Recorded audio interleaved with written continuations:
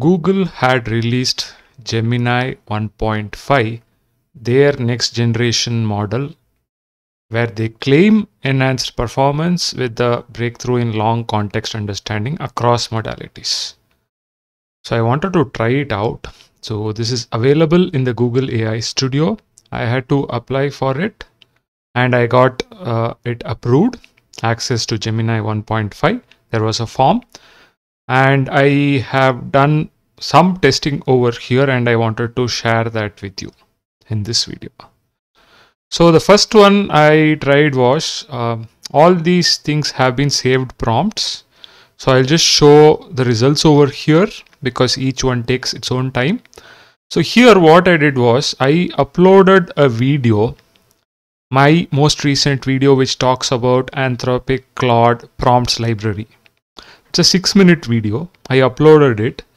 It says there are 95,206 tokens in this video. Okay. And then I asked like, what is this video about? So Gemini 1.5 first time said no content.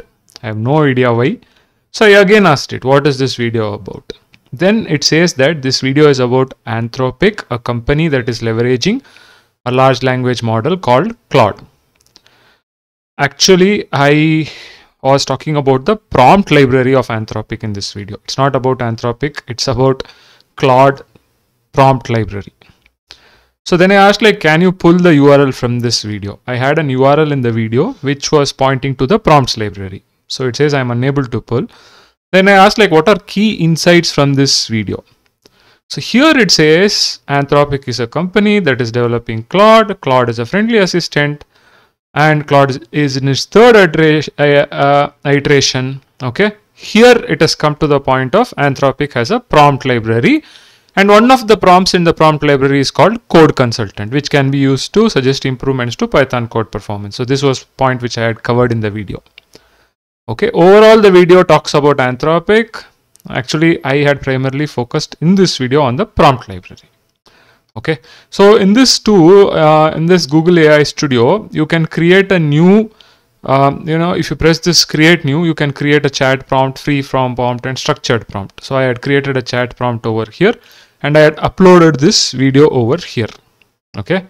So this was about a prompt library uh, from Anthropic. So that video I had uploaded and I wanted to chat with the video. So this is one testing which I did. Okay. Now let's go to some more other um, things which I did. Okay. So then I wanted to test on images okay so here if you see I uploaded one image over here okay for uh, it doesn't uh, I can't zoom into this image now okay but if you look at this image it is about some ingredients okay then I asked like this is actually the label of a bottle okay of a med medicine bottle Ayurvedic medicine bottle and it had some ingredients over here. Then I asked like what is this image about? It says this image is about the composition of a product. It lists the ingredients and their respective amounts in 10 grams of the product. Very accurate. Then I asked like can you list the ingredients and their uses? So the uses are not present over here. Only the ingredients are present. Okay? It then starts listing it out like okay the shmol uh, which is the first ingredient over here. Unfortunate that I'm not being able to zoom in this particular image. Okay but it lists out all the ingredients and it also talks about you know what they are useful for. Okay? Uh, this is a combination of 10 herbs used in ayurveda. Okay? We need to actually cross reference over here. Okay? Let me see what if i ask over here can you get references? References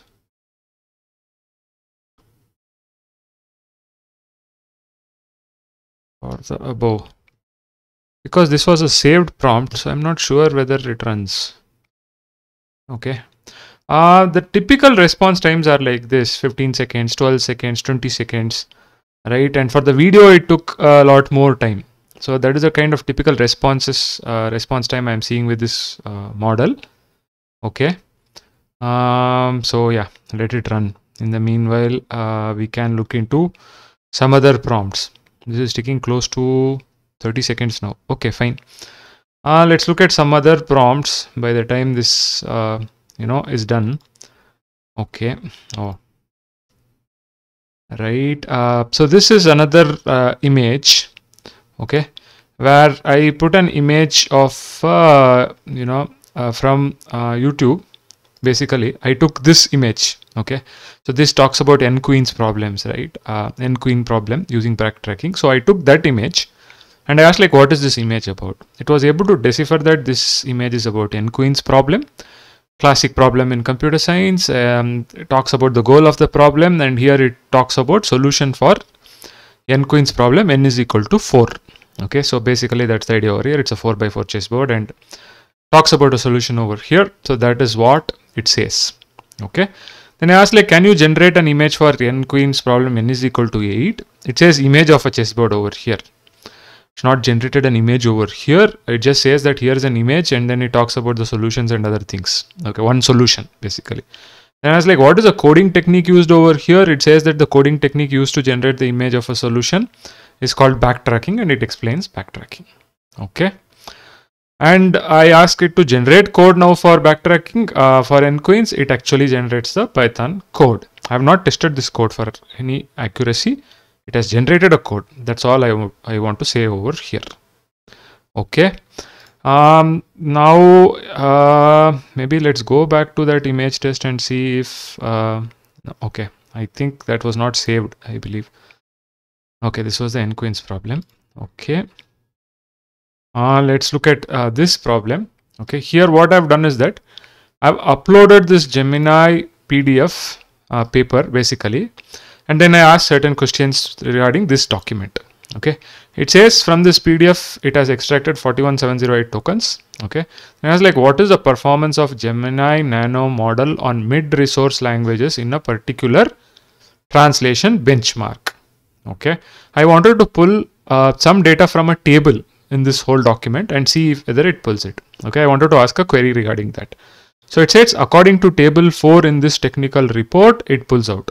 Okay, the benchmark is 67.0. This is much lesser than other models. That's what it says over here. I'm asking about Gemini Nano. Okay, if you go to this particular uh, document, uh, somewhere in the beginning, we uh, table 4 is there. Let me quickly go there and let me show you uh, that table right okay this is mmlu nano okay okay okay. Yeah basically i asked this particular question. Mid resource what is the performance of gemini nano? Okay it has pulled gemini nano 2 over here and 67 this value it has given. Okay so it is able to pull data from tables. Okay i tried another on the same document. I asked like in which page of the document can you find about complex multimodal reasoning capabilities applied to code generation it pulls the correct information over here saying figure 20, but it says page 16. Okay. And it explains that figure and other things over that example. But if you go to page 16, it is not present over here. Okay. It is actually present on page number, I think 61. Yeah. I was asking about this particular figure. Okay. Or this example. Right. So yes, so over here it kind of missed out the page, but it has pulled out that example and it is trying to explain that over here and its accompanying explanation. Okay. So this was another use case which I tried.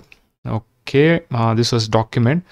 Uh, table basically uh, try to extract tabular data try to extract some uh, other unstructured data from a document there is another document which I tried. Uh, so this was a paper which I uploaded, designed to code, another video I have made. And then I asked like, what are the key insights?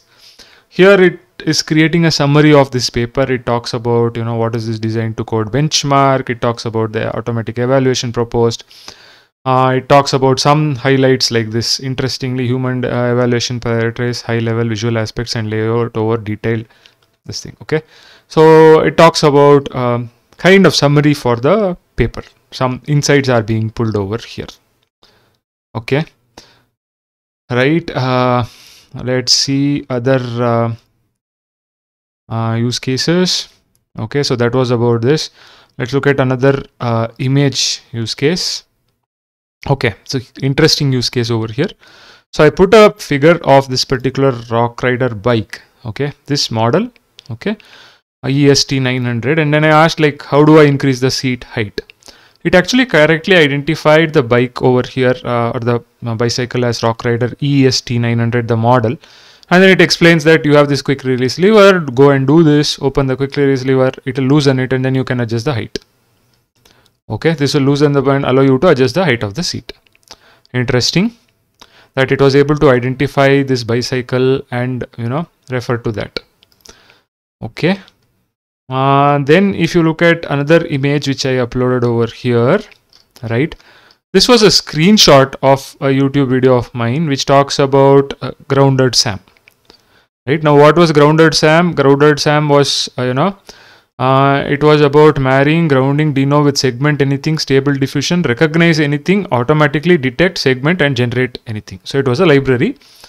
Uh, I was I created a video on this. So the thumbnail of uh, that video I had given as input so it talks about here it goes for a toss it says that this image shows the difference between grounded SAM, um, SAM and stable diffusion grounded SAM is a text to image model that can generate images from text prompts Stable uh, diffusion inpainting is a text to image model that can edit existing images based on text prompt. So this is hallucinating over here. Okay. I didn't like the responses over here. Another uh, use case which we have is, uh, you know, let me go to this one. Okay. This is an interesting figure. Okay. So this was a figure from a hotel uh, which I pulled out and um, this was written in handwritten okay you had handwritten data over here um, so in the handwritten data I wanted to pull out something so it says that yes this is an image from a restaurant it lists the actually I should have had the option to view that image over here. Okay let me see if I can try showing you that image. Uh, because that will be good. Okay let me see if this image yeah it was this image. Okay let me simply insert it again. Ah see okay see over here it was a handwritten uh, you know um, data over here basically uh, menu of items and then I wanted to ask a certain price. So it's like like what is the image uh, the image is from a menu from a restaurant. It understands that South Indian dishes it identifies it. Then I was like what is the price of Uddin Vada over here? It says 47.50 So look at the image over here it is 47.60 okay. So here it is able to do OCR and uh, identify this handwriting as well, right? Kind of handwritten and it is able to do. And you see this reflection and other things are present. So this is slightly challenging image. Uh, so it's done that, right? Um, now if you go back to, you know, the other images, let me see. Okay, this was this image. So I've kind of covered it. Uh, let's see this image if, okay. Oh no, I had lost that previous question which I had uploaded in the starting of the video. Maybe now I'll ask and say let's wait for the what are the can you get references for the above?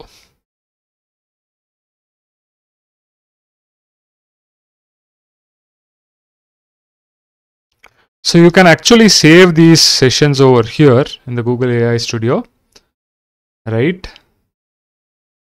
Um, so let's see how much time it takes this time. So this is almost like a real-time uh, generation. I have I have seen typically it take anywhere between 15 seconds to even 30 seconds to a minute depending upon the kind of query which I've asked over here. Especially with the video processing it had taken much more time. So we need to wait over here. Let's wait and watch whether it will even generate the response and if it is pulling references where is it pulling references from